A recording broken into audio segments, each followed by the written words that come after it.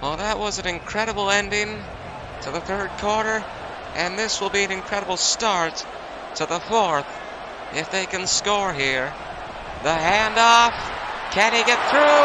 Yes, he can. Touchdown, Colts. Jonathan Taylor has put Indianapolis in the lead, and the Colts have come back.